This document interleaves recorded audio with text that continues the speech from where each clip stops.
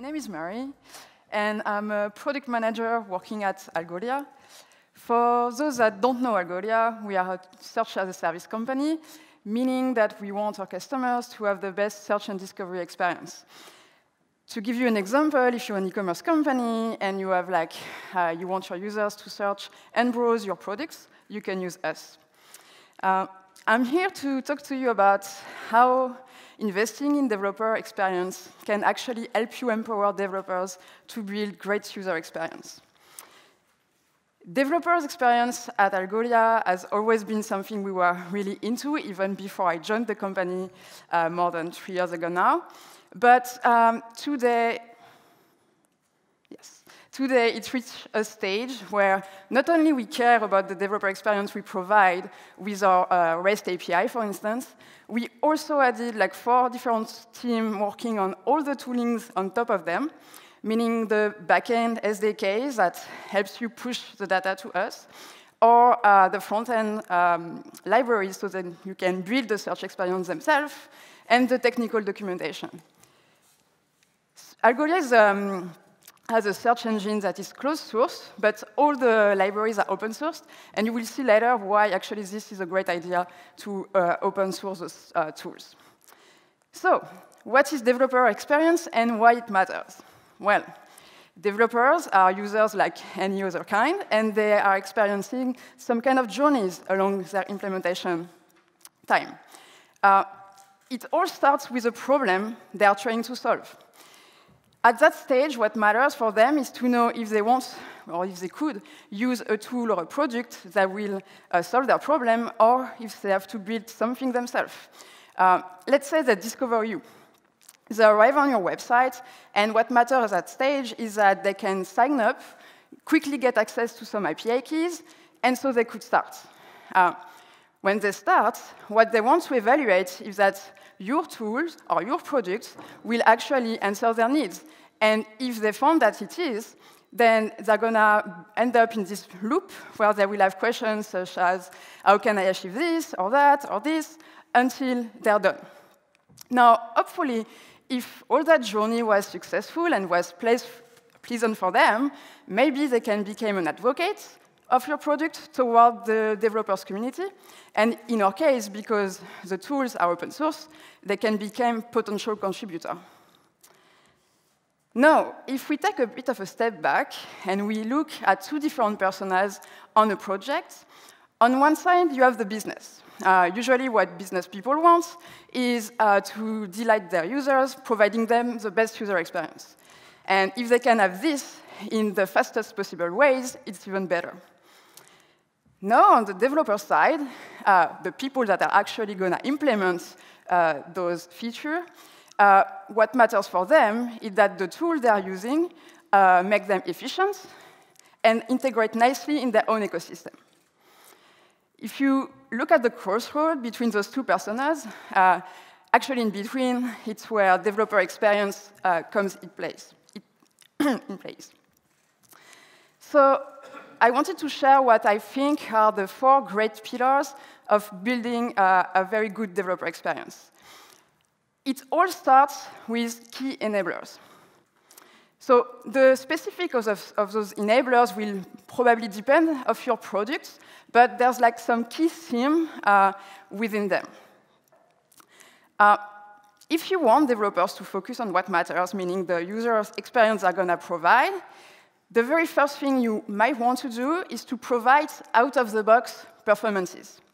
Uh, we all experienced interfaces that were long to uh, like um, answer, like those infinite spinner, etc. It's not very pleasant, so you want to make sure that uh, the performances of what you are providing are great.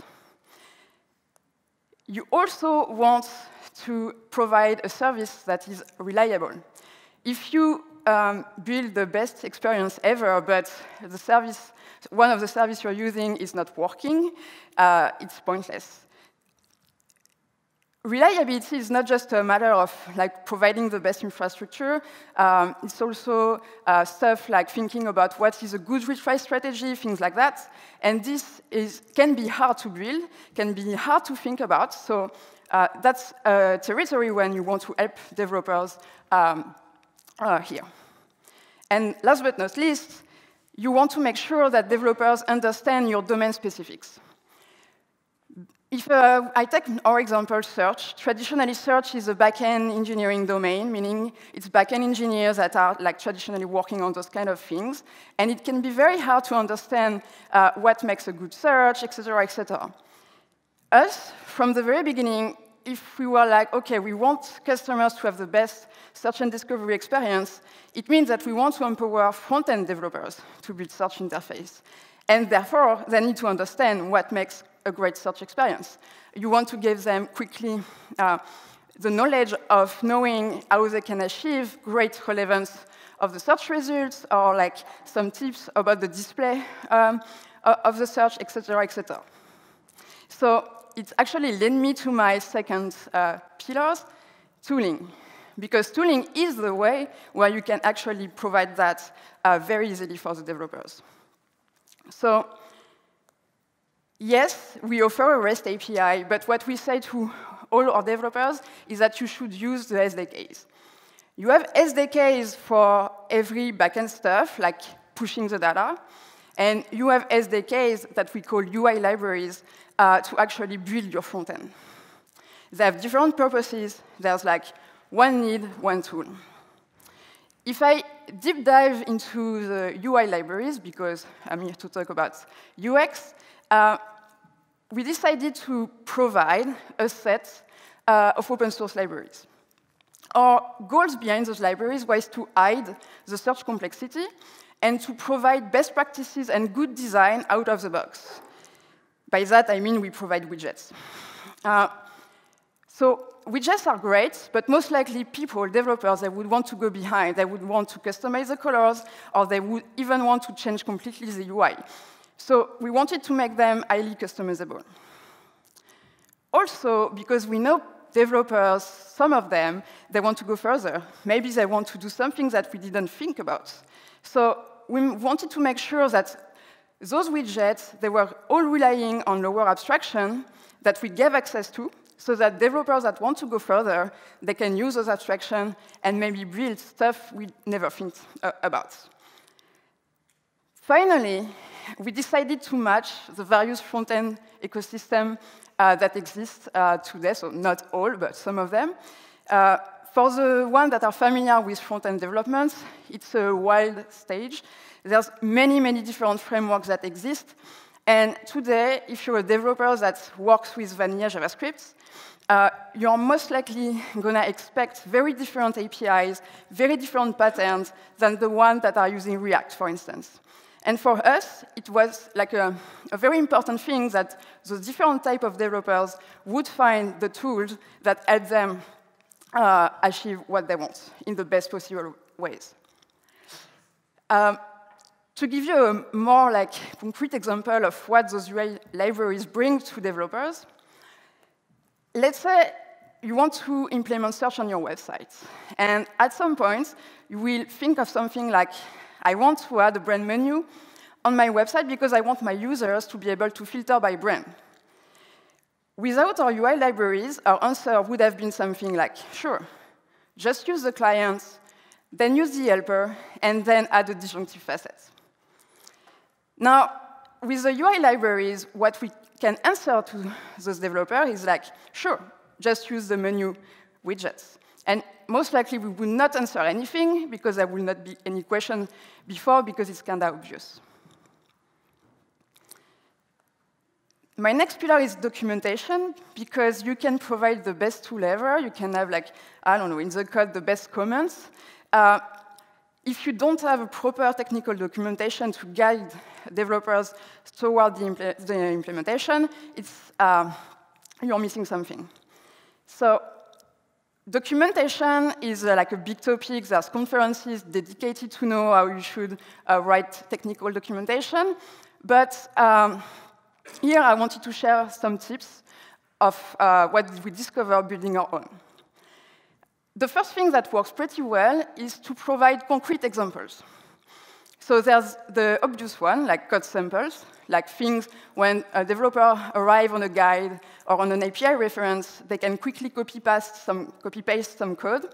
And, uh, and it works. And I would say if you do that, you should always think of providing code that works out of the box, meaning they copy-paste it and they don't, as they don't have to modify anything. But there's other type of example that exist as well. Uh, for instance, we decided not so long ago to create that page called Widget Showcase, and today it's one of the most uh, seen pages on our technical documentation, where the goal was to display all the widgets we offer uh, in the different kind of search pattern that exist, and we did it in an interactive way, meaning if you go on that page, uh, you can actually play with the widget and you can see the goal uh, of those widgets, and if you want to use them, you can go to the API reference uh, afterwards. Also, you should make sure that you provide a logical path uh, so that developer can progress from beginners to uh, advanced user. When someone starts with your product, they don't know anything about it. What matters at that moment is that they found the page explaining them how they can quickly get started. And if they can, uh, with that page, have a very good overview of what you provide, it's good because it makes them understand the value proposition behind your product. Now, once they read the moment when they're, okay, I'm going to use your product, what you want is to guide them toward all the different features you, uh, you give access uh, to in what I say the logical ways, like in a way that, ma that makes sense uh, for, for them to, to, to get everything. It sounds easy, but actually there's a, some, a bit of thought behind the different order of the pages, etc. Finally, you should make sure you, you, should make sure that you provide various type of contents. We all learn in a very different ways. Some people prefer to read text, others prefer to watch videos, and others need to have their hands dirty and play with some code straight away. Uh, we didn't want to match only one type of person here. We wanted to embrace uh, them all, so we decided to basically match all those kind of learning ways. The last pillar I would have for you is communication, and it's basically the glue behind all uh, of the previous one, because developers are users like any other kind of users, and the very first thing you want to uh, um, do about them is to learn who they are, how they think, what they need. And the best way for, for that is to put your own developers in front of their users. So at Algolia, everybody, every engineer on every team does support. It's even true today, while actually we do have a dedicated support team, but everybody keeps doing support. And for the teams that are in charge of all the toolings, because they are open source, everybody can actually write an issue or open a feature request on GitHub, and they're always in contact with all those uh, uh, developers. So they got a chance to really know what works, what does not, etc. What you want to also build is a community. Meaning, if someone at some point has a question because they don't know how to do something, you will probably answer them if that knowledge, uh, you put it online, uh, either, for instance, for us, it's like on a community forum or also uh, through Stack Overflow, no matter the place, if someone that has the same question, Google it, find that place where you did already answer, then it's a win because I will probably not go into your support and it will save us a bit of time. Finally, you want to make sure you nurture a relationship with the developers, and in a sense, you want to make sure you communicate them often the changes you are doing to your product, to your libraries, etc. So, for instance, providing clear changelog with everything that is new, etc., etc. So, investing in DX is great, and I would really like encourage you to do so. But there's some stuff I wanted uh, to uh, warn you about. The first thing is that there's not a unique type of developer. It's very easy, especially uh, when you're working on developer uh, products or tools, um, because people working on those products are developers themselves, uh, it's very easy for them to think that they know everything. Yes, I'm a developer, I know how everybody thinks as a developer, so I know that we should do that. Uh, no, everybody uh, is different. There's different kind of pattern, etc. The best way of overcoming that bias is to build diversified team. Uh, making sure that in uh, your engineering teams, uh, there's people coming from various backgrounds, various culture, etc., just so that you don't have this bias of a unique type of developer. Also, you should um, have and you should define a coherent strategy. When we are starting building all those toolings, uh, basically we, we are popping up uh, a lot of tools here, like uh, SDK in Go, SDK in Java, and then we have the libraries in React, etc., etc.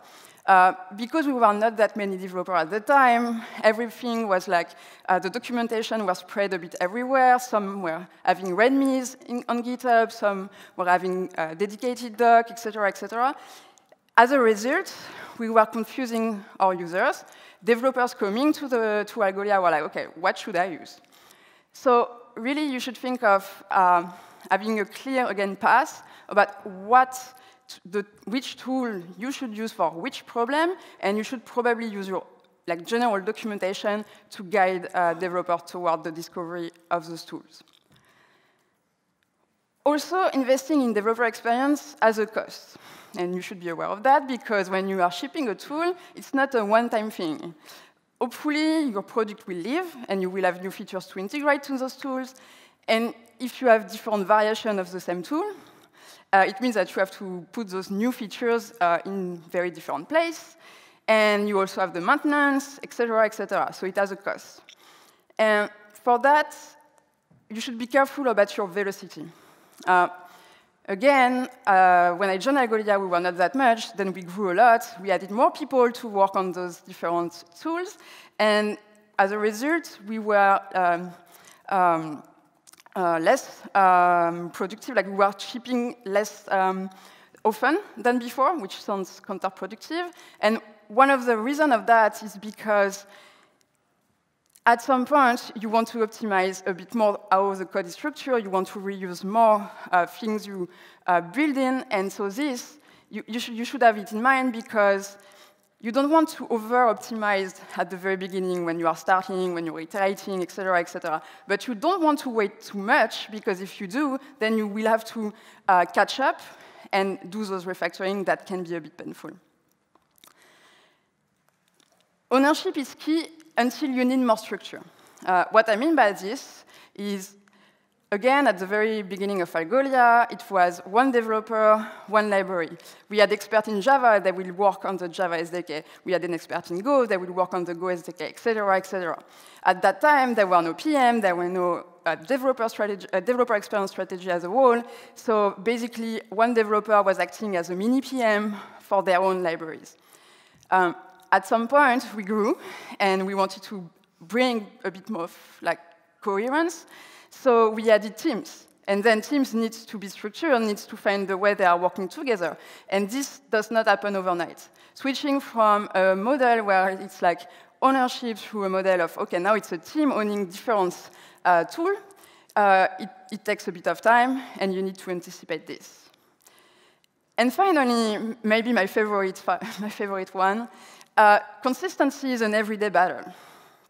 What I mean by consistency is, for instance, the method names, the default behavior uh, in all your tooling.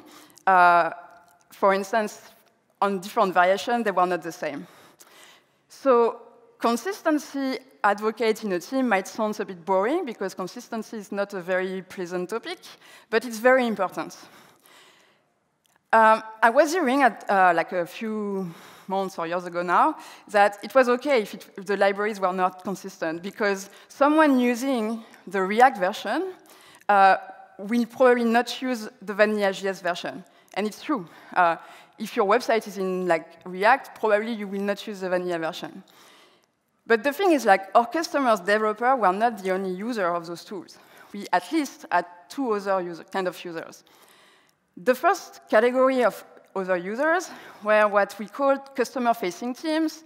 So it's our teams that are working with our customers to help them implement us, or doing POC, et cetera, et cetera. Those persons, they, are, they don't choose which libraries they are going to use because they are like taking the one the customer actually um, uh, are using. And so at some point, they were like, I don't understand. Like in this one is that name, in this one is that name. It was hell for them. Another kind of user uh, that exists is the team itself. Because at the beginning of, uh, of the journey with all those libraries, the people that were there, they knew everything. They knew why this choice was made, uh, why it was this and this and this. But those people, they left. They left because uh, they joined another team uh, later in the company, or they left the company, and, and basically they um, left without knowledge. So really, you want to make sure that you have consistency in mind. If you have this SE routine to check, it's way, way more easier than waiting for like the big like uh, pile of, uh, um, I will not say the word, but like, uh, yeah, just have it in mind, think about it regularly. It's less painful than if you wait uh, too long. So just to conclude and to wrap up, basically, what matters is that developers are focusing on the right thing. And for us, what we really want is for them to focus on reinventing what is search and discovery and to innovate on that territory. And so it very, it's very important that they have time to focus on that instead of focusing on your uh, issue with API errors and stuff like that. That's it. Thank you.